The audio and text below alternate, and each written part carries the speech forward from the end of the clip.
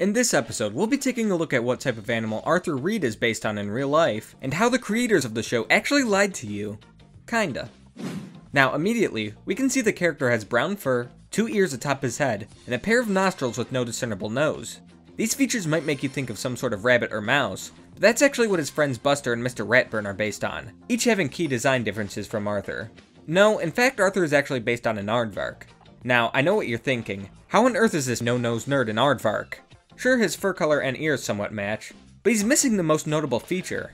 Well, just like other animated characters, Arthur has gone through some serious design changes over the years. This is what Arthur used to look like. As you can see, the snout is on full display, and it's much more faithful to how an aardvark would actually look. Over time, the snout shrank until it reached a point of no return, being surgically replaced with a pair of leftover Voldemort nostrils. While the change may seem like an odd choice, there's a deliberate reason for this. The first is for the sake of expression. Arthur's nose used to cover his mouth, so you really couldn't see if he was smiling, frowning, yelling in agony. Anyways, the shaving of the nose allowed for the expressiveness of Arthur to shine through, making it easier to connect to him on an emotional level, resulting in many young children's first parasocial relationship. This change also made it easier for animators to animate the character on his namesake show. Originally, Arthur was based on a series of books, so movement really didn't matter. When it comes to the show, however, odd nose and other bodily shapes can lead to some abnormalities, in which a character's appearance can become somewhat cursed to say the least. So, to avoid these situations, the nose was, well you get it by now.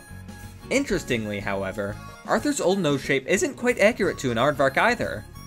As you can see, aardvarks have a pig-like snout at the end of their nose shaft, whereas Arthur's is rounded off at the end. Most likely a stylistic choice, but it does resemble that of another animal. Meet the tamandua, a species of anteater found in southern South America. As you'd expect, their nose is rounded off at the end, and as a bonus, its ears and tails closely resemble original Arthur as well.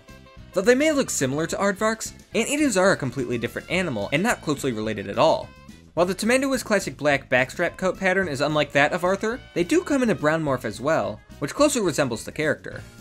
As an aside, in flight or fight situations, these animals will strike one of 2016's most terrifying positions,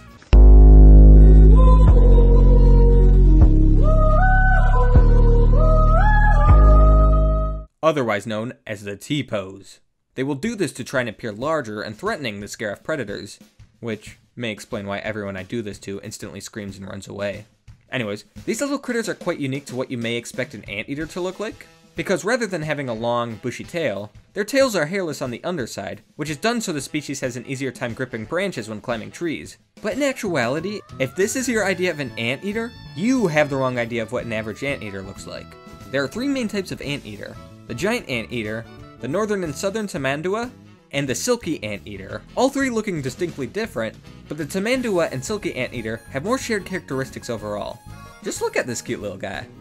So, all in all, though Arthur today may look like a caricature of an ambiguous animal, his past reveals a better resemblance to his supposed aardvark blood. Remember to like and subscribe, and hit the bell notification so you can keep up to date with when I post videos in the future, this topic itself was actually recommended by a viewer, so if you'd like me to cover a certain topic in the future, please let me know in the comments. Thank you for watching, and continue to explore the Biotaverse.